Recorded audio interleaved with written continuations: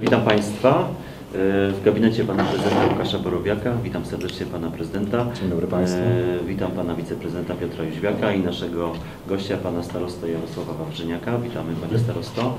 E, Proszę Państwa, oświata właściwie zdominuje mm, naszą konferencję. Pierwsza sprawa to umowa dotycząca wsparcia Międzyszkolnego Ośrodka Sportu przez powiat leszczyński, bo tę umowę dzisiaj Panie Prezydencie podpiszemy. Na ostatniej e, sesji była podjęta taka uchwała e, Rady Miasta, e, Rady Miejskiej Leszna, z której wynikało, że wyraziła zgodę na to, żeby powiat wsparł tutaj, żeby pan prezydent uzyskał zgodę Rady na zawarcie takiej umowy dotyczącej wsparcia przez powiat właśnie Le- Leszczyńskiego MOS-u. Wiąże się to z organizacją Wielkopolskich Igrzysk Młodzieży Szkolnej. Dotychczas było to tak, że w mieście Lesznie częściowo organizował to e, właśnie e, Międzyszkolny Ośrodek Sportowy, częściowo Leszczyński Szkolny Związek Sportowy tutaj e, Leszno, w powiecie organizował to Leszczyński Szkolny Związek Sportowy.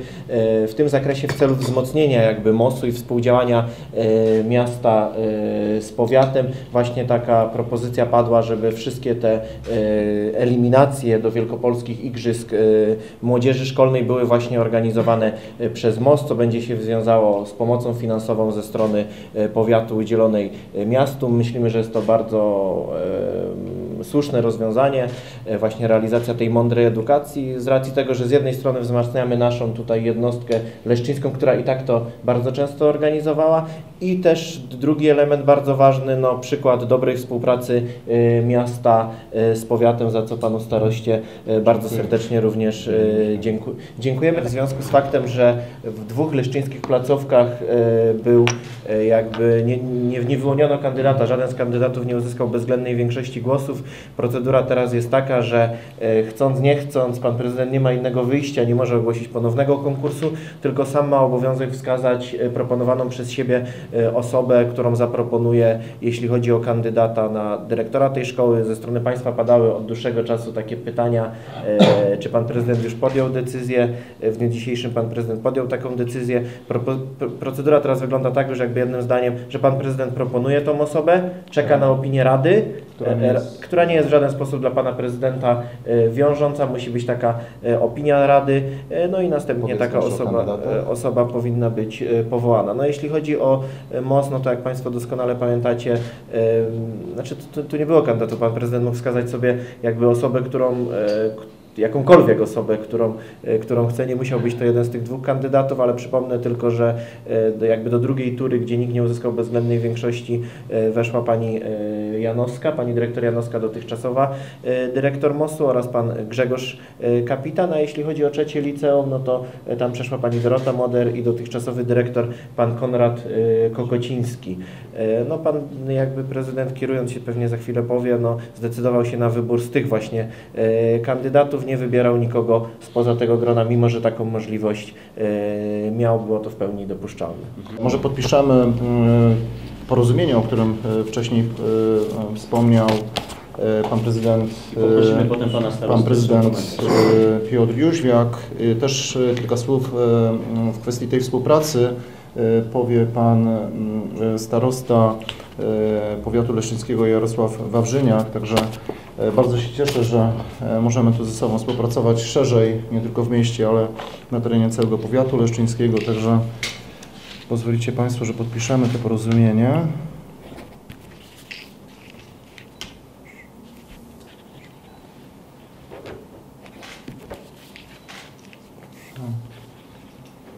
Jak zwykle w tych dokumentach musi być. Tak jest. W pięciu egzemplarzach. Rady na podpisywanie. Okej, Pociec wpływu. Trzy umowy, trzy umowy dwie To może panowie shake hand taki do, do, Nie wiem, do takie mamy etyczne. obiektywu. tak? Bardzo proszę. Tak wspaniale. Tak. Dziękuję. Dobrze. Tak jest. I później pana starostę o parę słów poprosimy. Dziękuję bardzo. Dziękuję. To musimy teraz Tak wymienić. jest, tak jest. Symbolicznie. Pani starosta, prosimy.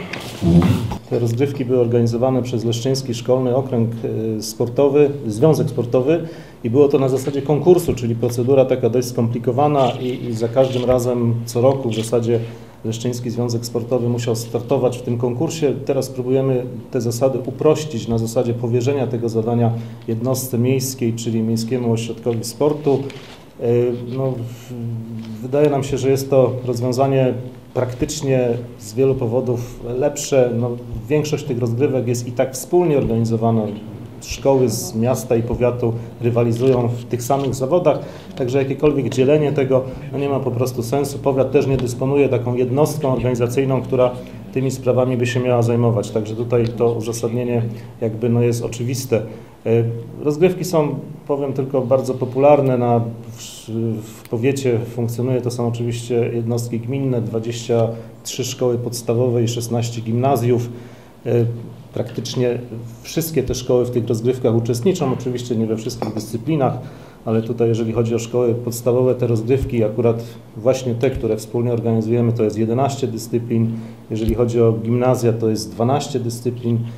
Praktycznie w każdej dyscyplinie około 10 czy kilkanaście szkół e, z powiatu uczestniczy. Mamy tutaj, trzeba się pochwalić też sukcesy. Tu akurat mała szkoła z gminy Krzemieniewo, z Nowego Belęcina jest najlepsza w powiecie na 40 miejscu w Wielkopolsce. No myślę, że biorąc pod uwagę no przede wszystkim e, szkoły z ośrodków miejskich, 40 miejsce w Wielkopolsce dla takiej małej szkoły jest to duży sukces. E, Jeśli chodzi o szkoły podstawowe, Nowy Belęcin też gdzieś tam, jeśli dwie, dwie szkoły z powiatu Pawłowice i Nowy Belęcin, obie tak się składa z gminy Krzymieniewo, też w pierwszej setce tej rywalizacji, także myślę, że są to wyniki dobre i ta rywalizacja, te wspólne tutaj działania z, z miastem, poziom tej rywalizacji myślę, że podniesie. Będziemy, będziemy tą e, wspólną, wspólne zawody, or- organizację, wspólną organizację myślę, że będziemy w następnych latach również kontynuować. Tak. I drodzy Państwo, jeżeli chodzi o mój wybór, e, chciałbym współpracować z Panem Grzegorzem Kapitanem, który aktualnie pracuje w mi- Międzyszkolnym Ośrodku e, Sportu. E, Jak wiecie Państwo, jest związany z, AZ- z AZS-em działającym przy Państwowej Wyższej Szkole Zawodowej. Ogromne doświadczenie w organizowaniu wielu imprez, nie tylko sportowych, a także i społecznych, i kulturalnych. E, Myślę, że to będzie nowa jakość funkcjonowania. Ja przypomnę, że na pierwszej naszej konferencji e, prasowej e, dotyczących zmian w oświacie, leszczyńskiej oświacie mówiliśmy o przeprowadzonym procesie restrukturyzacyjnym. Myślę, że pan Grzegorz Kapitan sprawdzi się na funkcji dyrektora MOS-u. E, Pani dyrektor, serdecznie dziękuję za do- dotychczasową pracę. Myślę, że znajdzie swoje miejsce e, w, mm, jako nauczyciel e, uczący WF-u i będzie pracowała także, chyba współpracuje z PWZ-em nadal jako wykładowca. Także będzie rekomendacja, tak jak już Państwo wiecie, ona, opinia Rady nie będzie wiążąca, ale ta procedura musi być spełniona. E, Dlatego e, uważam, że Grzegorz e, Kapitan e, po swojej autoprezentacji, po przedstawieniu swoich pomysłów będzie z nami współpracował. Życzę wielu sukcesów i dobrej i owocnej współpracy. Jeżeli chodzi o liceum numer 3, drodzy Państwo, bardzo długo się nad tym zastanawiałem. Ja chcę powiedzieć, że mój typ to przesłanki typowo merytoryczne, tak jak i w pierwszym przypadku i pan Konrad Kogociński, który pełnił dotychczasową funkcję e, według mojego uznania e, przez te półtora roku oceniam e, jego pracę bardzo dobrze, także będę rekomendował Radzie Pedagogicznej właśnie aktualnego dyrektora. Też sprawdził się, ja przypomnę, że Nadal trwa, trwa duża inwestycja związana z wybudowaniem boiska do gry w piłkę nożna, nożnej przy współpracy z Football Academy. Otwarcie e, tego obiektu nastąpi we wrześniu. Już praktycznie kończymy, e, kończy się faza e, tej inwestycji. Jest też wiele innych projektów. policyjna. Klasa policyjna jest też wiele innych projektów, które pan dyrektor Kopeciński wdrożył. Także Chciałbym już ukrócić wszelkie spekulacje i dyskusje w przestrzeni publicznej i Informuję, że pan Konrad Kokociński będzie pełnił swoją funkcję na stanowisku dyrektora trzeciego liceum ogólnokształcącego przez kolejne 5 lat. Mamy cały czas ogromny problem z też z tym no, pięknym boiskiem do siatkówki plażowej na rynku. Tam codziennie służby MOSIR-u, wczoraj rozmawiałem z dyrektorem Kryjomem, przyjeżdżają, muszą poprawiać tę obwieszoną siatkę, e, więc jest to tam e, niestety cały czas niszczone. Druga rzecz, do początku warsztatów jazzowych będzie zupełnie zamknięte, zakręcone pianino na rynku, bo było permanentnie dewastowane, jest złamane, jest już uszkodzone, nie można na nim grać. To są rzeczywiście fakty zupełnie fatalne. E, Może Państwo też e, zaapelują do ludzi, żeby się trochę uspokoili, bo to jest zupełnie coś zdziczałego. W każdym razie nawet mi się nie chce tego komentować. E, Kolejna rzecz to jest taka, proszę Państwa, że jest nam bardzo też przyjemnie, że zauważają Leszno, to co w Lesznie się dzieje, to ożywienie w Lesznie i pewne ciekawe projekty zauważają media ogólnopolskie. Niedawno pracowała w Lesznie ekipa programu drugiego Telewizji Polskiej. Powstaje taki duży film o Lesznie i Rydzynie, który będzie emitowany we wrześniu. Pani Elżbieta Ruman, dokumentalistka z programu drugiego, ten materiał robiła, więc to też się cieszymy. Powstaje duży tekst w Rzeczpospolitej o Teatrze Miejskim, pisze go pan Jacek Cieślak. To jest jeden z najbardziej znanych autorów Rzeczpospolitej, e, e, którzy pisze o kulturze, E, więc cieszymy się, że, że media ogólnopolskie też do nas tutaj trafiają. Następna sprawa to w przyszły wtorek o godzinie 21.30, we wtorek 26 lipca, pan prezydent zaprosi mieszkańców, bo przekaże mieszkańcom fontannę w Parku Jonstona i tam nie przewidujemy żadnego pompatycznego otwarcia. Jak Państwo wiecie, nie jesteśmy zwolennikami e, przecinania wstęg. Natomiast e, proponujemy taki fire show, który przygotuje młodzież z alternatywy. Mm, Pokaz ognia i troszeczkę, trochę muzyki takiej etno, tak, na bębnach. 21.30, bo o 22.00 cisza nocna. W 15 minut, panie redaktorze, zdążymy przed ciszą nocną, także nie zakłócimy. A fontanna, jak Państwo wiedzą, e, funkcjonuje już i właściwie już chyba od końca tego tygodnia będzie funkcjonować, bo ona jest teraz tylko odbierana technicznie, e, także że będzie już działała. Natomiast w ten wtorek damy taką pieczątkę, jest już otwarta, więc serdecznie Państwa również zapraszamy. Wielu mieszkańców zwraca się do nas z prośbą o to, żeby jak, jak najlepiej zabezpieczyć te miejsca, które zostały w ostatnim czasie zrewitalizowane. Ja przypomnę, że e, te, ta część miasta e, będzie miała jeszcze, będzie przeprowadzana w tej części miasta jeszcze jedna ważna inwestycja, czyli e, przebudowa ulic, samej ulicy Westerplatte. Tu mm, podzie- po- Tu chciałbym serdecznie podziękować Pani Prezes Dratwie z szefowej Leszczyńskiej Spółdzielni Mieszkaniowej, która pomogła nam uregulować pewne e, kwestie prawne, natomiast zwiększą się miejsca parkingowe, będzie nowa nawierzchnia, będą e, przebudowane e, te nieszczęsne chodniki, także e, monitoring oczywiście jest niezbędny i przekazaliśmy już plac budowy i zgodnie z e, podpisaną umową z wykonawcą w ciągu 30 dni ma zakończyć się inwestycja, także zakładam, że e, dopiero e, w koło 20, pod koniec właściwie sierpnia ten monitoring zacznie już funkcjonować nie tylko w Parku Jonstona, a także na ulicy Bolesława Chrobrego. E, To jest bardzo ważne. Ja nie ukrywam, że nadal cały czas pracujemy nad e, e, monitoringiem. Szukamy różnych wariantów. W ostatnim czasie na terenie Wielkopolski został oddany właściwie nowy system monitoringu w Olsztynie. I co ciekawe, drodzy Państwo, w obsługuje monitoring i Straż Miejska, i Policja. Dlatego coraz bardziej myślę o tym, żeby jednak Straż Miejska też pracowała nad e, monitoringiem i obsługiwała ewentualnie w przyszłości monitoring, bo jeżeli w Olsztynie dwie formacje obsługują monitoring, to w Lesznie przecież też możemy iść tym samym pozytywnym, moim zdaniem, tropem. Natomiast to są też problemy, ponieważ no wszędzie gdzieś e, brakuje tego światłowodu, e, który jest bardzo potrzebny do, do funkcjonowania dobrego monitoringu, dobrych kamer. E, No i to jest też kolejne mm, wyzwanie przede mną, aby po pierwsze te inwestycje, które planujemy, będzie e, montowany monitoring i to nie ulega wątpliwości. Mówimy o inwestycjach drogowych natomiast i nowo projektowanych. Natomiast e, no, czas na to, żeby zmodernizować te kamery, które też funkcjonują słabo funkcjonują w centrum miasta. Mówię na przykład o kamerach na e, leszczyńskim rynku. E, Ale tu tylko tak na marginesie mówię o tych e, kolejnych e, działaniach związanych z rozszerzeniem e, monitoringu o nowe przestrzenie w mieście. Ale to Straż Miejska by się przeniosła do pomieszczeń po drogówce na przykład? E, Przygotowujemy, drodzy Państwo, projekt, ponieważ Komisja e, Praworządności e, poprosiła prezydenta miasta Leżna, czy też służby miasta, aby e, przygotować koncepcję nowej siedziby Straży Miejskiej. Pracujemy nad tym razem z sekretarzem miasta Leszna. E, No i być może już w momencie, kiedy będziemy przeprowadzać e, działania adaptacyjne, prace adaptacyjne, na pewno pomyślimy na tym, e, aby mm, obsługiwać też monitoring tak, w tych najważniejszych miejscach, które, które no, są dewastowane, ale przy okazji wcześniej zostały zrewitalizowane. Także pomalutko myślę nad dobrym rozwiązaniem, które funkcjonuje w Olsztynie, a warto czasami brać dobre przykłady, a Olsztyn jest takim miastem, gdzie rzeczywiście poczyniono wiele ciekawych, pozytywnych rzeczy pod kątem właśnie rewitalizacji e, całego miasta. Na strychu e, właśnie remontowanego e, zabytkowego budynku przy ulicy Paderewskiego e, zostały odkryte stare, zniszczone płótna z wizerunkami świętych. E, Ja zaraz to wezmę. E, Mamy tutaj świętego Mikołaja. Tam kilkanaście takich płócien zostało odkrytych.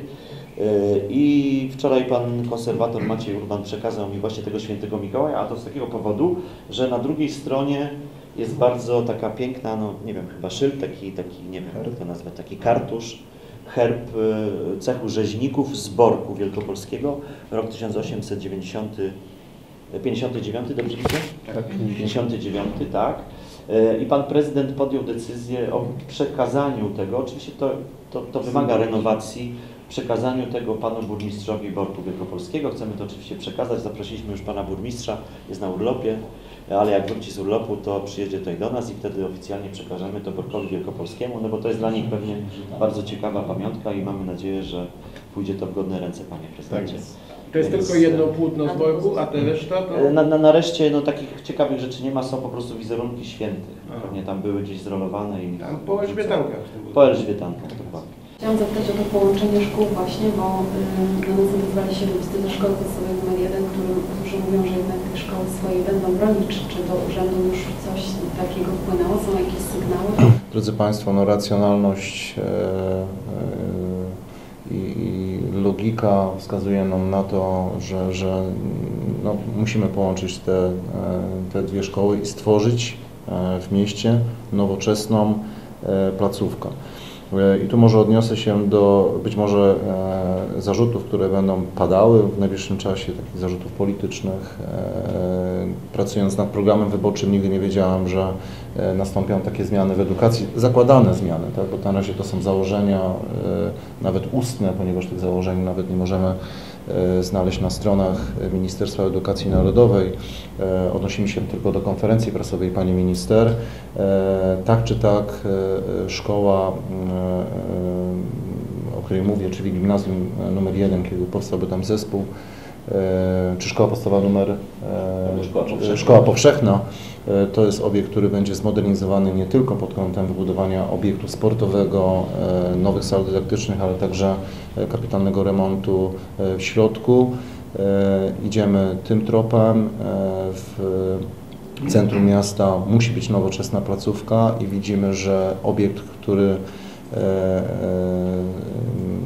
ten obiekt e, z okresu międzywojennego, tak, z okresu międzywojennego może być przystosowany w zupełności na e, szkołę mm, nowoczesną e, na miarę XXI wieku i, i idziemy takim tropem. Natomiast no, tu e, e, możemy spodziewać się jakiegoś protestu rodziców, natomiast no, warto usiąść i przedstawić konkretne wyliczenia, e, wyliczenia funkcjonowania tych placówek w przyszłości. Tak. E, Proszę też pamiętać, że e, Szkoła podstawowa numer 1 i szkoła podstawowa numer 3 nie ma dobrych warunków także do uprawiania e, dyscyplin sportowych do, do, i te, te sale dydaktyczne też wymagają remontu, także tworzymy nowoczesną placówkę w centrum miasta e, Bardzo i szkół. bardzo blisko tych szkół. I tu chciałbym też uspokoić, że tak naprawdę, no bo gdzieś tam pojawiła się taka kwestia dotycząca e, zwolnień i nauczycieli, e, tylko że chciałbym zwrócić uwagę, że my tutaj mówimy o trzech szkołach. Gdybyśmy my na dzień dzisiejszy tego ruchu nie zrobili, to zostalibyśmy z 36 nauczycielami e, z gimnazjum numer 1 i byśmy powiedzieli, no ci nauczyciele muszą znaleźć sobie jakieś, jakieś miejsce. E, W sytuacji, gdy my tworzymy nową, dużą e, placówkę, bo gdzieś tam docelowo ona ma składać się z 24 e, oddziałów, to daje możliwość zagospodarowania już znacznego tych nauczycieli gimnazjum i założenia, że część tych nauczycieli pójdzie także do, e, do, do, do szkół średnich, natomiast w żaden sposób nie widzimy e, konieczności czy, czy, czy, czy potrzeby, że jeżeli są dzieci, które mają nauczyciela w pierwszej czy w drugiej klasie, że on od nich e, odejdzie albo zostanie zwolniony, on normalnie dokończy jako wychowawca zgodnie z, nową, e, z nowymi założeniami, czy to jest teraz ten nauczyciel, czy ten nauczyciel, który będzie za rok, czy za dwa lata, e, normalnie swoją pracą, przecież te szkoły będą dalej funkcjonować, no i stąd taka nazwa, żeby to była szkoła powszechna, żeby nie było takiego przekonania, to co podkreślałem, że jedynka wchłania trójkę, trójka wchłania jedynkę, czy też ewentualnie odtwarzamy szkołę podstawową numer 8 i to ona pochłonęła te inne szkoły. Nie, to są trzy e, szkoły, których jakby wartości nauczyciele, kadra i rodzice zostaną przejmowane. Jesteśmy głęboko przekonani, że ten aspekt, który gdzieś tam się pojawił, oszczędnościowy, to jest tylko jeden z elementów, e, jak pewnie pozytywna 3 konsekwencja złotych, takiego e, przeznaczyć praktycznie na modernizację gimnazjum numer jeden tego obiektu, natomiast te, te, em, te pomysły nasze, bo to są na razie te Pomysły. pomysły, tak, no czekamy na e, uruchomienie procesu legislacyjnego, to, e, to świadczy o tym, że zaczynamy mocno na ten temat dyskutować na poziomie e, naszego samorządu, ale ogromną rolę mają dyrektorzy tych szkół, o których mówiliśmy. Jeżeli oni będą racjonalnie przekazywać informacje, nie mówiąc o tym, że chcą uratować swoje stanowiska, bo przecież nic nie jest przesądzone, no to ci rodzice będą wychodzili z konkretnymi informacjami, tak? E, A tu na przykład e, dziwię się, że e, na przykład ci mieszkańcy dzwonią do lokalnych gazet, a nie dzwonią do prezydenta miasta Leszna i mówią, że będzie protest. No i mój gabinet jest otwarty, zapraszam na dyskusję i porozmawiajmy.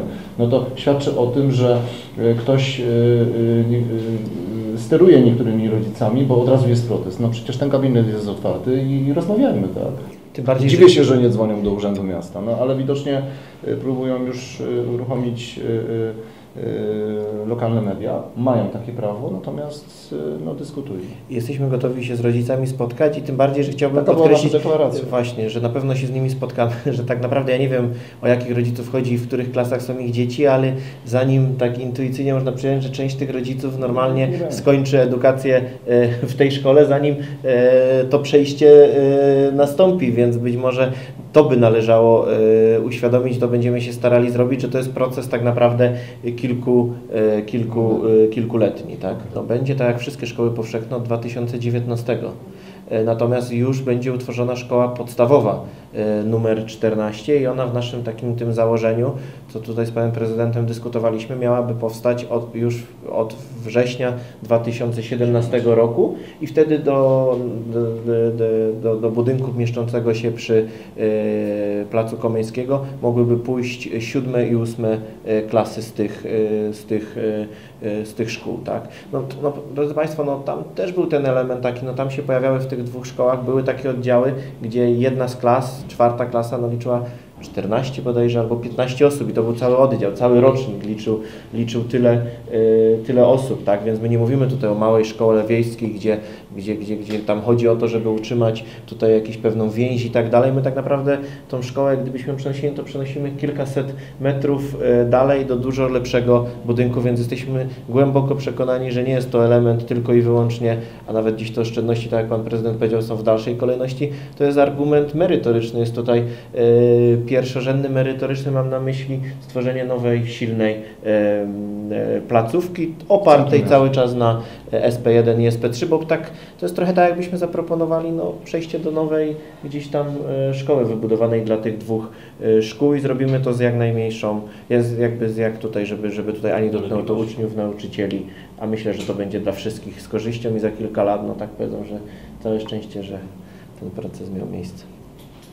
Bardzo, bardzo. Dziękujemy bardzo.